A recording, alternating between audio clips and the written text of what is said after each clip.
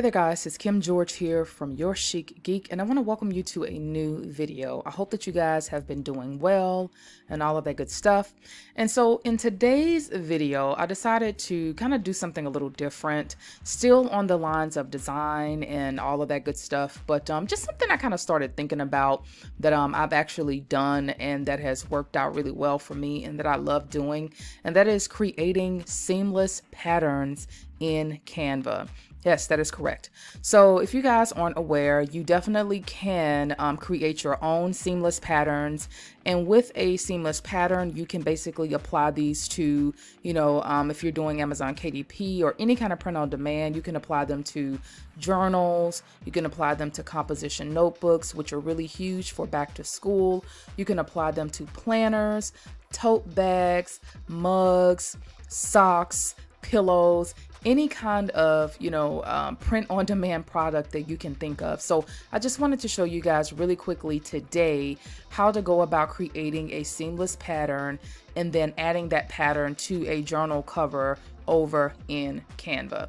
So first things first, um, I like to get a lot of the different uh, clip arts and things that I use from Creative Fabrica. You guys know Creative Fabrica is Bay for me.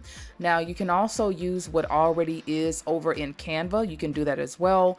But I found that um, Creative Fabrica just has a lot of cute little, you know, different clip arts and collections and things that you can definitely get and use um, to apply to your designs. So that's what I'm going to be doing in this specific tutorial.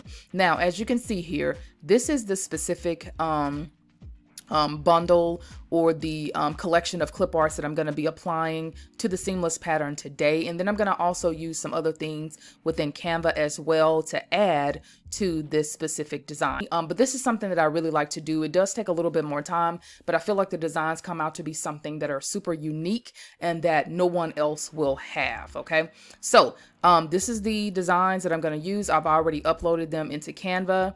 And then, um, so what I'm going to do now is head on over to Canva to get started with the actual tutorial. Okay, so I'm back over in the back end of my Canva account. So what I'm gonna do first is I'm gonna go ahead and click to create a design and then I'm gonna do custom size. We're gonna make sure that this is set for pixels. And then I think I'm gonna do maybe a, a 2000 by 2000 for the design because I want it to be something that will stretch and that will look really, really good, whether it's shrunken or even if it's a big design, okay?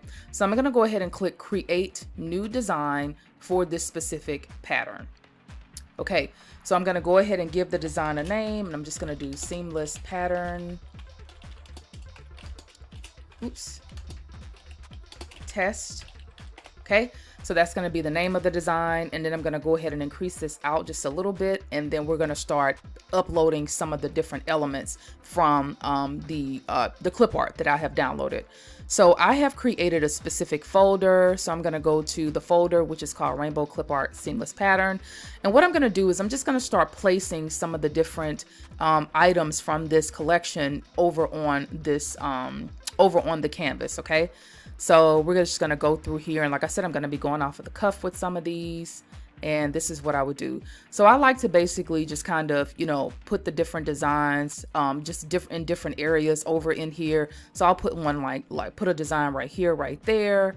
And then I'll take this one and I'm going to also make sure that these are all the same size. So this is at a 207. So I'll leave that as 207 and I'll make sure this is at a 207 too. Or if it needs to be a little bit bigger, you can do that as well. So I'm to do that there. And then what else do I want to use? So I love the little rainbow. I'm sorry, not rainbow, but the clouds. So I think this is really cute. So I'll put this over here in the corner. Actually, I'll move this one here. And then I'll put this one here, make this a little bit bigger, make that a little bit bigger. And then I'll just start kind of filling it in with more stuff. So you can get as creative as you want to with this, guys. Um, like I said, this is something that I love to do and I'm just basically kind of what I'm doing here is I'm just kind of you know going so I'll put one in the corner right here and then I'll put one right here. And then I'll put one in the corner. Oops. Right here. Actually I want to change the color of that and I'm gonna do this color. Okay. And then what I'm gonna do is find something else. So maybe I'll do um, this heart here, not this color though, maybe this color. Okay, and then I'll kind of turn that. And then maybe I'll put another little rainbow, which is here, over on this side, right here. And so you'll notice I'm kind of lining them up and then I'm going to start doing like, you know, so I'll do right here, I'll line everything up and then I'll line this up and then I'll start putting things in the middle. Okay, so you'll kind of see it come together. All right, so I'm gonna do this. I think this is really cute. So I'll bring this down. I'll put this here. And then let me find another one. This is a pretty color cloud. So I'll put this one here. Okay. All right. Okay. All right. And so now what I'm gonna do is I'm gonna start kind of filling in some of the empty space around this pattern. So it doesn't have to be perfect. You kind of want things to not look so perfect. So you can kind of start, you know, switching, you um, know, switching things around and kind of, you know, taking things and turning them to the side and different things like that. And so what I'm going to do now is, like I said, I'm going to start filling in some of the other areas. So I'll take this design here and kind of start filling it in. So I'll put this one here and then I'll take this color and I'll put that one right here. So you kind of see what I'm doing here. And then I'll take the gold one, not the gold one. I will take the pink one and shrink it and put this one right here. And then I'll put another one right there. So we'll do this one right there. Okay, so that's that. And then, so now I'm gonna go in and find some other things to use. So you kind of get the idea and see what I'm doing here. So I'll probably put this one in here all right, right there. And let's see. And again, it does not have to be perfect. It doesn't have to be perfect at all. Kind of see. So I'll put this here and I'll kind of start lining them up as best as I can, but not making it look too perfect. I, I want it to look like a pattern, right? So I can make this a little bit bigger. Okay, and then I'm gonna start filling in some of the other things into here. So this isn't perfect, but I'm liking where it's going. Okay. All right, so now I'm gonna start looking for some words that I can put onto this pattern. So I'll look for like the word love. Okay, so I like this right here in Canva. So I will use this, but I'll take this and instead of um, using it or leaving it as the same white color, I'm going to go here. I'm gonna choose this and I'm probably gonna put it in maybe the gold. So you see that? It turned it to that really pretty gold color. So I can take that, put that here, and then I can take this, let's see, above, and then I can probably put it here, but in a different color. And I'm going off the cuff here, guys, so bear with me. Maybe pink. And then we'll put another love right here. So you see what I'm doing? Just kind of, again, filling everything in. Okay, so then I'll change this color from the pink to the blue color right here. So I'm gonna go here, I'm gonna use this color picker, and there's that. Okay, all right. So what else can we put in here to make this a more full pattern? Um, maybe I could put some little hearts in here. I think I'll do some really small hearts and then that'll, that'll complete the pattern. Okay, so now I'm gonna go back over to my uh, folder and I'm gonna go down and I'm gonna look at these hearts and I'm gonna put some more hearts in here to kind of fill this in a little bit more. So I'm gonna take this heart, I'm gonna make it really small and then I'll put that right there and then I will kind of turn it, take this heart, make it small, put that there, kind of turn it, and then take this heart, put this here, kind of turn it. So this is not perfect. I'm just kind of having fun with this. And I kind of like the way that this looks. And then if you want to, you can definitely go in and you can make things bigger, you can make things smaller, you know, kind of whatever it is that you want to do. And we have a pattern, okay, pretty much a, a seamless pattern here for the look, for the most part, okay? And so then you can kind of start spacing things out and all of that good stuff. And then what you can also do that I really love with Canva is I'll probably put some dots in here as well. But what you can also do is you can also, um, whenever you're finished with all of your elements and you kind of have your pattern the, with the look and feel that you the way that you really really want it you can actually hover or basically hold down your mouse and drag over all of the elements that are in your design and then you can start grouping them And then so what you can do is as you group them, you can actually, I don't know, Canva is acting crazy. So look at that.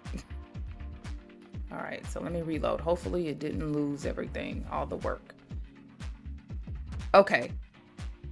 Okay, perfect. So I'm gonna just hover over this and hopefully it doesn't crash on me again. I'm gonna group and then I'm going to just kind of drag these out to make things a little bit bigger. Okay. And then we have our pattern. Now you can definitely come in into some of the other empty spaces that you have in here and add more stuff. So maybe I will go ahead and fill those up a little bit more. So I'm gonna go back to my folders, to my rainbows, and maybe let's add some of the cute little clouds or some of the suns right here, the half suns, because I don't think I really use these. So let's add these in here. So let's add a few of these. And I'll probably add that one there and make it a little small. And then I will add the pink one and make it small. And that's a little pattern. It's kind of a little busy. Eh. So I'm to leave this as is. I'm to leave it as is because I don't want it to be too busy. So I'll take these out. And then what you can do is I can ungroup and then I can just kind of come in and some of the ones that are kind of small, I can make those a little bit bigger to kind of compensate for some of the space that's kind of missing.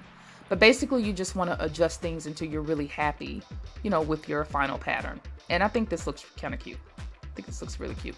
Okay, so I'm going to group this. All right. And so now I'm done with my pattern. So what I'm going to do now is I'm going to share, and then I'm going to download this as a PNG file with a transparent background. So you want to make sure you select that. And then I'm going to go ahead and click download.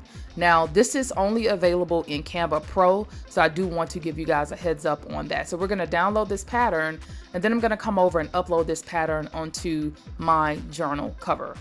So here is the cover. Okay, here it is. I'm sorry, guys. So here's the journal cover right here. Um, so what I'm gonna do now is I'm gonna go over here and then I'm gonna go to uploads and then I'm gonna upload files and then I'm gonna go to downloads and here is the pattern that I created. And so this is kind of on an up off-white background and I don't think it's gonna look that good on that color. So I'm gonna change this to more of like a black and then I'm gonna see what that looks like here. Okay. Ah, and there it goes. So here is the pattern and I think that looks really cute. So I'm gonna adjust this and then I'm gonna bring this out and then you can just kind of bring this over a little bit. And I actually do think that looks really, really cute, okay, for the pattern. And then so what I'll do after doing this is I will take this and I will duplicate this and I will drag this over to the other side. And so what I can do is I can flip this. See what I did? To make that horizontal. So this is the entire pattern that we've created and I think it looks so cute. Now the one thing that I would do and that you still could do um, for this pattern is um, I would say to go in maybe and add some like little dots or something or even some um, you know white hearts to kind of make it jump out a little bit on this black background but I think this journal looks really really cute so here's what I would do um, I'm gonna go and look for hearts actually let me go back to that bundle because I think there are some white hearts in there and this is where you can kind of again kind of go off the cuff and just add what you feel is missing so I'm gonna add some of these white hearts in here um, just small in some of the different places, right? So I'll do one there, I'll bring this down, I'll do another here, and I'll turn it. So you see that kind of fills it in a little bit more. So I'll add the heart in here, then I'll add one right here and turn. Actually, I'll turn it that way. And so you can just kind of start filling this in. Oops, filling this in a little bit more um, where you see kind of gaps and things in the spaces of your pattern. But I think this has turned out really cute. All right, so we're gonna add this here. And I think this is filling in quite nicely here. Okay, so you can turn it. And then I'll add one more, like right here. Again, I'm going off the cuff here, guys. So then I'll add maybe one more uh, right here. Like right here or something. Okay, or a little bit bigger. Yep, okay. I like it. I like it a lot. And so, like I said, um, this is kind of how I go about making my patterns, and this is what you can do as well. Now, what I would do is put a label on this, and so I'm going to go over here because it's a journal. I'm just going to take this box here. I'm going to place this over here, And what I'm gonna do also is lock each one of these so the patterns don't move. And then I can put this here. And then I'm going to just basically write journal on the front here. Okay, so somewhere up here at the top. And then I can make this in the white shape. And then I'll probably put a square border around this. Again, I'm kind of going off the cuff, but um, I like it. I like it a lot. So let's go to shapes. Oops. And see all. And I'm looking for this square here. I'm going to take this and I'm going to reduce this. I'm going to bring this in. I'm going to bring this up. Basically, put this here. All right. And I'm to bring this over. Okay. And then I'll turn this to um, one of the colors in the journal. So I'll go here, hit this, and select that. And I want to make this a little bit thinner because I think it's too thick. And then let me bring this in. And then I'm to move this over. All right. And then I'm just to find a really cute font and put journal on here. And that's going to be it. Okay, so now we're going to go to text, add a text box. I'm going to put this here and I'm going to increase this size. I'm going to change this to black or the off black. And then I'm just going to write journal, daily journal. Okay, and then that's it.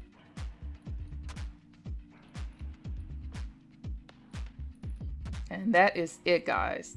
All right. So the last thing that I like to do with um, my journals and things is whenever I'm creating things to make sure that every um, that you know everything is lined up really nicely is I'm just gonna go over to elements. Sorry, not elements, but I'm gonna go look for my six by nine um, uh, template that lets me know that everything is lined up correctly. So I've already uploaded this. Um, you can see this from a previous video, and you can get this from bookow.com.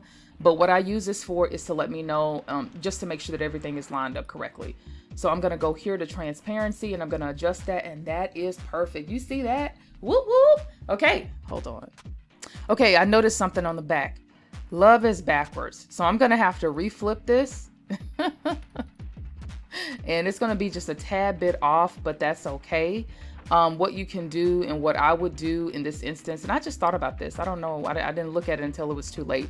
But um, what I would do in order to um, to fix this basically or to just kind of make it look not necessarily seamless but just make it still look okay is you can easily in this instance go in and just add a um, spine to this journal and it should look okay still. I just realized that I'm like, oh my gosh, love is backwards. But you guys kind of get the idea of what I've done here. So I'm gonna add a spine to the spine of this journal and it's gonna make it look so much better already. So you see that? All right, perfect. All right, so then you can keep this as that color or just, you know, whatever color it is that you wanna add. I think I'm gonna use uh, the pencil tool and drop it into the gold and I actually do like that. So you see, it still looks really good. Now, the last thing to do is to come in and just download this as a PDF file for print. And then I'm going to use CMYK for printing. And then I'm going to download this and we're going to see what it looks like. And then um, you could actually upload this into Canva, not Canva, but into KDP for a six by nine journal. So that is the size. And the size for this journal uh, for the dimensions is going to be 12.52 by 9.25. Okay, so just so you know. And so this is what the cover looks like. And like I said, I still think this is super duper cute. And this is just a seamless little pattern that we created through um, using some graphics from Creative Fabrica. And then we actually created the seamless pattern itself in Canva. Now, again, you can use this for composition notebooks. You can use this for any kind of print on demand product that you want to. And so um, I hope that you guys did enjoy this little overview of how to create seamless patterns that are truly custom that no one else will have. And um, I'd love for you to like, share, subscribe, and all that good stuff to the video. Thanks so much for watching. I will see you guys in another video. And um, stay safe out there. And again, if you're in Dallas, stay cool. Okay, guys, take care and bye.